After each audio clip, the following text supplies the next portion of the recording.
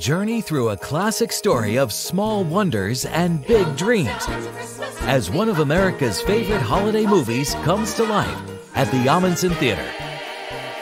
Join Ralphie, his family, and best pals live on stage.